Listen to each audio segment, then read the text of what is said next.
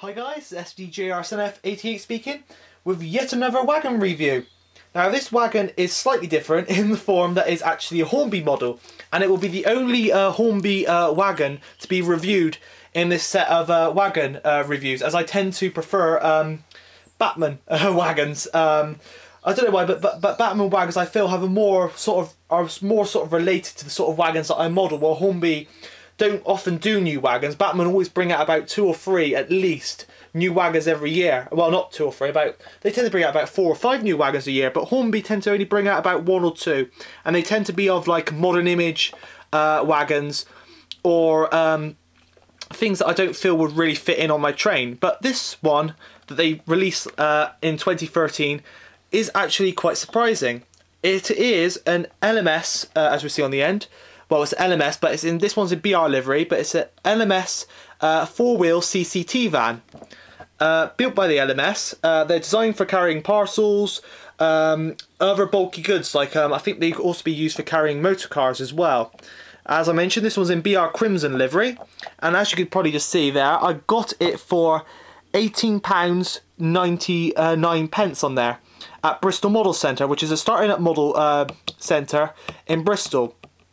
Now, um, this price is obviously too much for the model, and I basically bought it for this price, um, but um, basically, to cut a long story short, Hornby announced them as an RRP of about £19, which this model is at.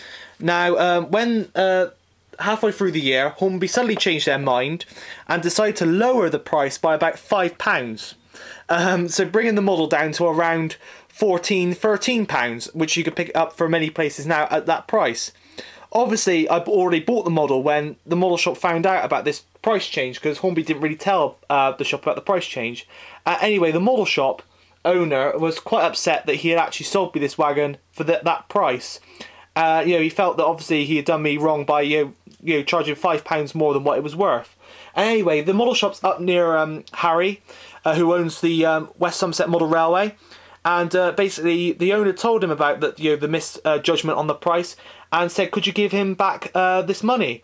And he basically gave uh, back um, to Harry five pounds fifty uh, five pounds and fifty pence which Harry um, thank, uh, which Harry um, gave to me. And I can't thank them enough for doing that. So thank you um, I've forgotten the I don't know the name of the model shop owner but thank you ever, ever so much for for um, being so kind of giving me that money back. And also, uh, thank you ever so much to Harry for uh, get, uh, uh, bringing the money to me when I met him at the Avon Valley Railway. But anyway, it's a stunning model and I could highly recommend getting one. There are a few faults with this wagon which will be seen when it's on the track uh, to do with Hornby's new clever design. But all in all, uh, don't let those things I say uh, sway you as if, as if it's not a good wagon because it really, really is. So uh, anyway, let's get it on the track and have a closer look at it. Right, uh, here she is on the track. Now, uh, this wagon is, uh, first thing I noticed about it, which I haven't mentioned about some of the other wagons, is the weight. Now, um, the Shunter's truck uh, by Bachmann was quite light, but that is sort of understandable uh, due to its size. But, amazingly, that actually weighed heavier than this. This is extremely light. As you know, Hornby have been doing their clever design recently, which in some cases has worked extremely well, as personally I sometimes find some of the quite detailed locos very, very fragile. Uh, but um, this wagon was going to retail around £18, and obviously it cut they cut the price down last minute to around £15, saving about 3 quid. Uh, which I agree is much better value for that sort of thing. Uh, but one thing that hasn't been added is weight to the wagon. This wagon is unbelievably light. The thing that uh, the basic weight for the wagon is actually the metal wheels, which is very very surprising. Um, as I thought Hornby might have added a bit more weight to them. Although in saying that, I have not had a problem with it derailing, as um, I've only ran it once, and I ran it on uh, Harry's um, West Somerset Model Railway. You probably saw it in the Gala videos as part of the freight rake. Um, that's where I bought it to and um, it actually runs extremely well. Um, but apart from that, there, there, are a few other criticisms of it, which um, uh, have been mentioned before on uh, modelling forums and stuff. And I'll just go quickly through them. Uh, the first is the livery. Um, not the actual livery in general, the livery actually does look pretty good, but you probably see it from the camera. Like the Sentinel, it looks a bit plasticky. Now, um, I don't know what it is with this red livery, the, this red livery that Hornby uh, have been implying to uh, locomotives of rolling stock recently, but it does look kind of plasticky um, when you see it on camera.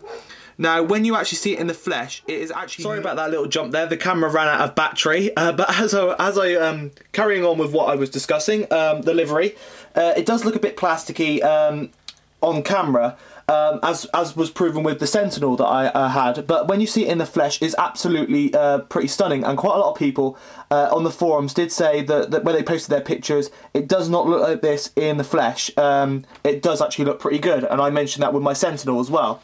Um, so Hornby have done, actually done a pretty good job. The, the Crimson livery is actually quite close to the real, well, it's pretty much accurate for the Crimson livery. It just doesn't look on the camera, it just looks quite plasticky on the camera. Uh, some people reckon it, it, it, has been painted, believe it or not, because uh, it does almost look like the plastic was coloured like that, but it has been painted. But apparently it's just the thickness of the plastic that makes it look um, quite um, plasticky looking, if you know what I mean, like the light shining through the plastic. Although when you see it in the flesh, you cannot see it. It's just I don't know what it is with the cameras, but the cameras honestly just don't pick up, just don't do the wagon justice. Anyway, move on to the roof. The roof is quite plain. Um, there are these two little ridges here above the doors, um, but apart from that, it is um, you know quite plain. Um, so not very much uh, to say about that. But we move on to the ends, and there is quite a lot of detail on the ends. Now these wagons had opening ends. You can see the little, um, uh, my finger in on it, but I'll try to get my finger on the camera. But above the buffers, uh, I won't bother. But above the buffers, you can see there's a, um, a sort of a rectangle sort of panel. Now that would fold down and cover over the buffers to provide like a little ramp. Uh, like well, like a little corridor sort of thing. When it, you know, if it was up to a coupled up to a loading ramp or up to another um, LMS CCT unit out there, you can see it there, that section there, that fold down and the two doors above it would open up. Now as you can see there's a lot of detail on there uh, because it's being wood and metal and Hornby have done, actually done a pretty good job of picking out the rivets and also the you know, and the um, bolts that were screwed into the wood on the wagon.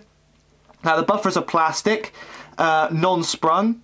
Um, we got to be careful uh, when purchasing these wagons, as some people have also commented that the buffers are pointing skywards on some of them. When I purchased this one, I did check compare it to other ones in the shop, and there were a few that had skew width buffers, uh, so that's why I chose this one. Um, but a really good feature which Hornby have done to this one is that the brake pipe, uh, brake pipe and coupling uh, has already been pre-added, as you can just see there. Uh, now it is NEM pocket.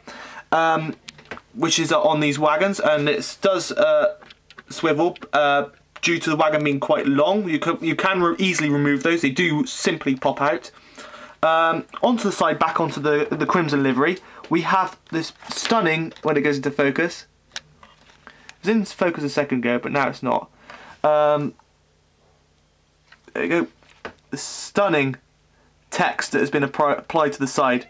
You got the length, you got the inside, you got the width and all the wagon, you got the load, and also you got the the number of the wagon, all these other uh, sort of codes on there.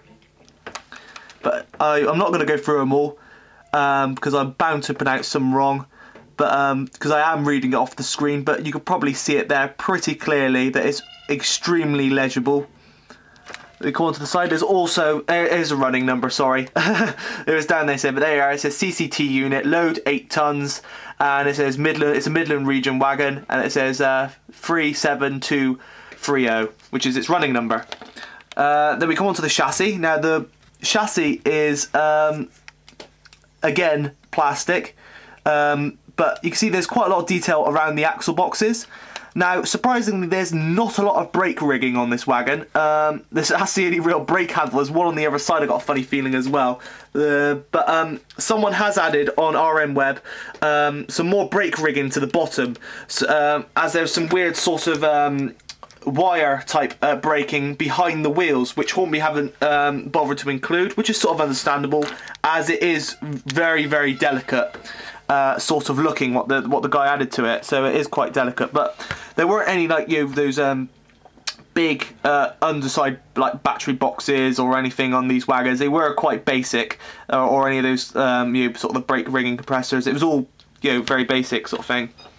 They go onto the other end of the wagon. The other end is precisely the same. I think that was sort of designed because these were used for multiple, um, carrying multiple multiple loads sort of thing. And I think that the end doors with a with a flap on the bottom, they were good for loading motor vehicles, I presume, like the GWR Mogo uh, wagon. I think that's how you pronounce it. Um, as I as I didn't realise, but they were actually used uh, until recently. They were actually used for transporting cars. Um, yeah, they would fit a car inside, basically. So I presume that one of the uses for this is they could also transport cars. Now, they were seen uh, in goods train rakes, and they were also seen on the back of express trains. There might be one, two, or even three, or even more on the back of an express train carrying cars, as I mentioned, or other parcelled goods. So, or, or just parcels in general.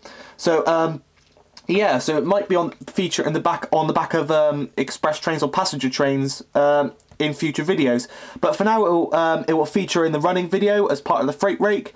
So stay tuned uh, for watching that. Uh, if you can't wait to see her uh, in action until the running video in a few um, days' time, um, do uh, check out um, the West Somerset um, Model Railway uh, Gala video, which I filmed, which is the um, WSMR uh, Gala video, which I filmed with Harry, where I, added, where I spent many, many hours adding the sound, and in the freight rake you will see her feature. So anyway, uh, that's all for now. We'll move on to the next wagon. So uh, this is SDJR7F88 speaking, and uh, thanks for watching.